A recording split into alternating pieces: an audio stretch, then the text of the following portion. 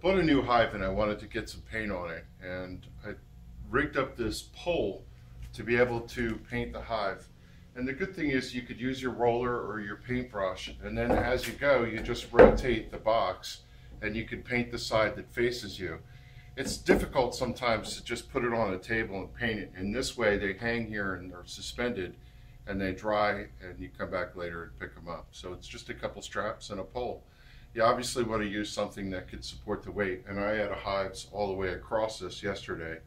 Um, I've taken a couple of them down but pretty nice way to do a paint job.